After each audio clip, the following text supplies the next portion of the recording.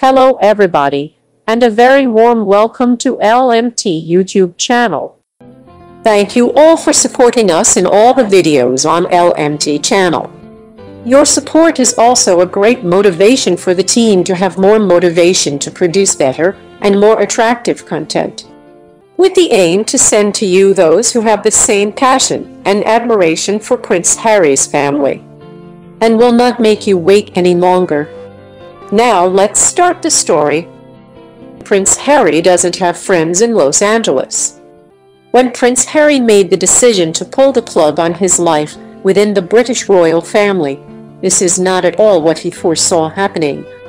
The Duke of Sussex and his wife, Meghan, Duchess of Sussex, wanted the opportunity to carve out a new life for themselves without having to adhere to royal traditions and protocols.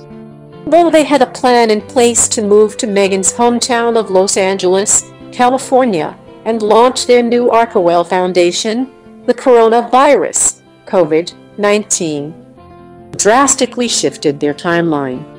Now only did the Sussexes have to leave their rental property on Vancouver Island in Canada abruptly, they were also forced to stall any future projects. While Meghan seems to be settling into a routine, Prince Harry is reportedly feeling a bit lost.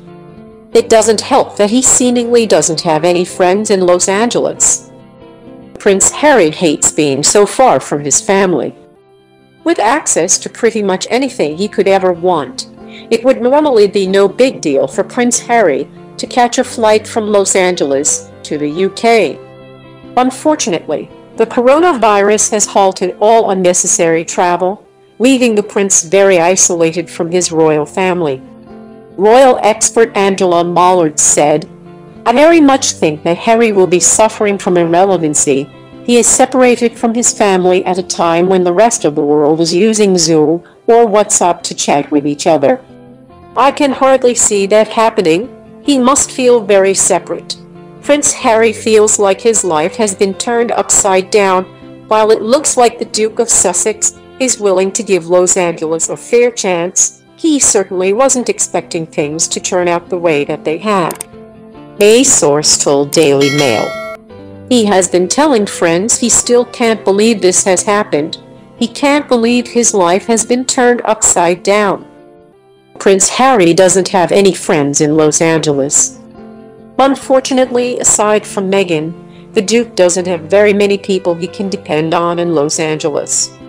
Royal expert Katie Nicholl told Vanity Fair, Harry has a lot of friends in the military community in the UK, and of course he misses them. This is a very strange time for us all, but I think Harry is missing having a structure to his life right now.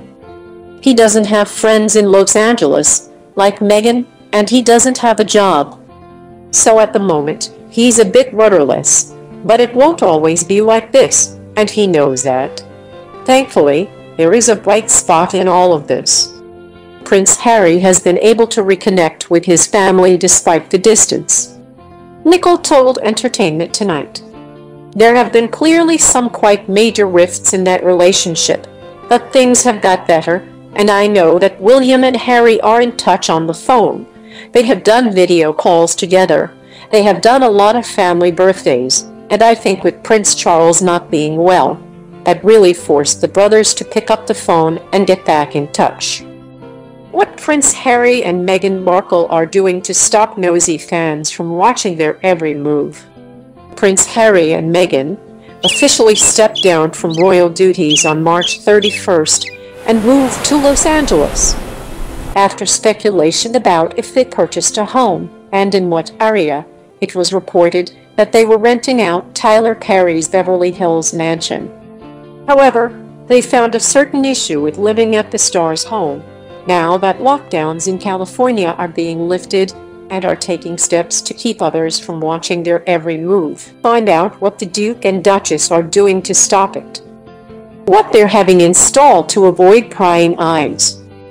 It's widely known that even though they are public figures, the prince and former actress value their privacy, but that's being compromised now that lockdown restrictions are easing in the state. Harry's 8-bedroom, 12-bathroom Beverly Ridge estate sits atop a hill creating a bit of an issue now that parks and trails nearby have reopened. According to Hello magazine, the problem is that whenever someone in the park hikes up to the highest point of the trail, they can see into the home. In an effort to stop strangers from watching them and their young son, the Duke and Duchess of Sussex are installing privacy screens around the property. They're beefing up security by having several more cameras put it in as well. At this point, it isn't known if the pair has any plans to buy the home, as they have been looking at other places in Los Angeles. They're interested in Kylie Jenner and Mel Gibson's former homes. It's been reported that Meghan and Harry's permanent residence could be elsewhere. The couple reportedly expressed interest in Kylie Jenner's former Malibu home. Caitlyn Jenner revealed on the British talk show Loose Women. I heard they were looking for a house in Malibu.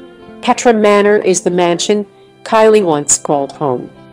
It features eight bedrooms, 10 bathrooms, a swimming pool, a tennis court, an indoor cinema, a bar, a wine cellar, a dance studio, and plenty of outdoor space for Archie and the family's two dogs to play. And best of all is it isn't far from where Meghan's mother, Doria Ragland, lives. Petra Manor would set them back $6.6 million. But Kyle's pad isn't the only place the Duke and Duchess have been eyeing up. The Sussexes are believed to have looked at Mel Gibson's old place, which is also located in Malibu. The actor's previous property sits on more than five acres and boasts five bedrooms, five bathrooms, a detached guest house, a gym, a fireplace, and an ocean view. The price tag for the estate is $13.4 million. Another analysis. Meghan Markle could become the most prominent influencer in the world with the Markle Sparkle since announcing along with her husband Prince Harry that she would be stepping down from her role as a senior working royal, Meghan, Duchess of Sussex has been laying low. Though the former actress returned to the UK briefly for her final royal engagements, since then, she's been living a relatively low-key life in her hometown of Los Angeles, California. Though the Duchess had hardly been seen publicly since Megxit, her brief appearances for various charities have caused an absolute frenzy online. The Duchess' Zoom hairstyle was all the rage when she briefly made an appearance for her SmartWorks charity. Likewise, the eagle eye necklace that she wore immediately sold out. Though many people had attempted to disparage Meghan, she has positioned herself to be one of the most influential women in the world. Prince Harry and Meghan Markle are eager to make their mark outside of the royal family. Though their plans have been stalled due to the coronavirus COVID-19 pandemic, the Sussexes do have major plans for the future. In fact, they have already announced their new Archewell brand. Archewell is a name that combines an ancient word for strength and action and another that evokes the deep resources we each must draw upon. In fact, many royal experts believe that as soon as Archewell launches, the Sussexes' popularity will skyrocket even further. The Atlantic's Caitlin Flanagan explained. The couple's future isn't certain. They are hugely appealing and glamorous. Everyone in Hollywood is eager to host them. The first few years of this plan are going to be heady.